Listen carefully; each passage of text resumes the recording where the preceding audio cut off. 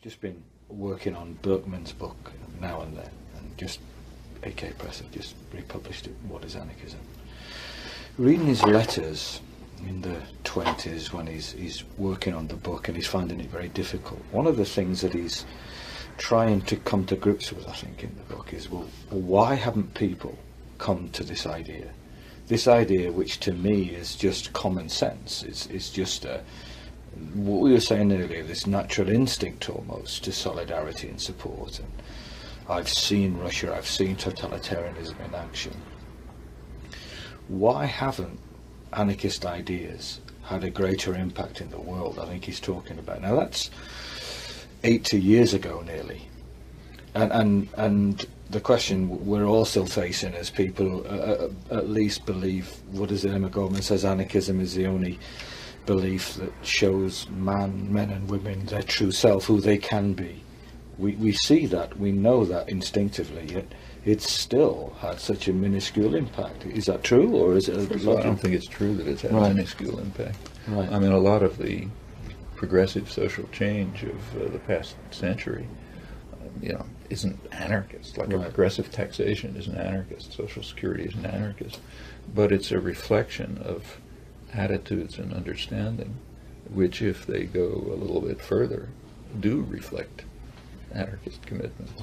And they do, they are based on the idea that uh, there really should be solidarity, sympathy, community, mutual support, mutual aid, and so on and so forth, and uh, opportunities for creative action. And they're all based on these. They don't, you know, they're subdued and channeled and modified, so they don't take real libertarian forms but they're there and they lead to social change.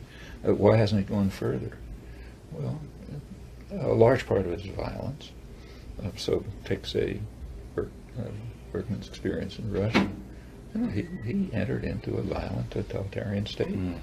I mean, up until the uh, Bolshevik takeover, coup, revolution, whatever you want to call it, uh, up until that, uh, there were uh, very significant popular uh, libertarian, sometimes anarchist initiatives all over, uh, running from you know, peasant anarchism in the Ukraine to uh, uh, workers' councils, the Soviets, and so on and so forth. Well, they were simply smashed by force. Yeah. Uh, by great violence. I mean, Lenin and Trotsky were totalitarian extremists, yes. and they had a theory behind it. Um, they were kind of dedicated Marxists who believed that a uh, backward, primitive country like Russia can't go to socialism. The master's principles tell us that. Uh, and uh, uh, therefore, we have to drive it, drive the country by force uh, through the stages of essentially state capitalist development, and then ultimately something will happen. I mean, they weren't repeating the master accurately. This required suppression of many years of Marx's later work, which were literally suppressed when he was studying the peasant societies in Russia and so on and so forth. But that doesn't really matter. I mean, the point is they had a conception, they used it, they had the force. It was, it, was, it wasn't easy, like, you know, to destroy uh, movement or Kronstadt or to eliminate the Soviets and so on. It wasn't a trivial operation, but it was carried out. And Berkman saw it, and he saw a totalitarian, vicious totalitarian society arising very much the way anarchists had predicted. Yes. I mean, Bakunin yes. spelled it all out. Yes. In fact, even Trotsky in his yes. early work before he joined it said what was going to happen, as did Rosa Luxemburg and others. Uh, but it happened. So, and that's their variant. Our variant was different.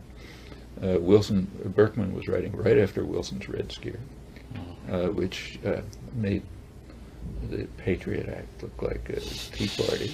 it was a violent repression run by the progressives, Woodrow Wilson and others, and not just affecting, you know, anarchists, not just Emma Goldman who was kicked out, but you know, even people pretty much in the mainstream, yes. like Eugene Debs, yeah. you know, yeah. Leading labor figure.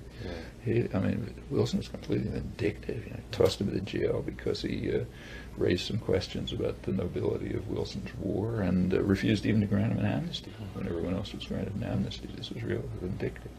And it, it really uh, crushed independent thought, crushed labor, uh, had a big effect.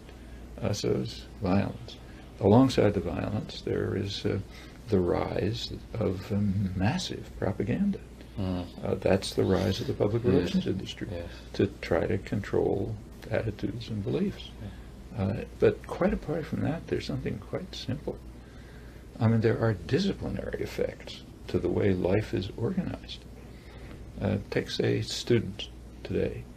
Students today have many, are, are more, in some ways, I mean, in a lot of ways, they're freer than they were 60 years ago, their attitudes and commitments and so on. On the other hand, they're more disciplined.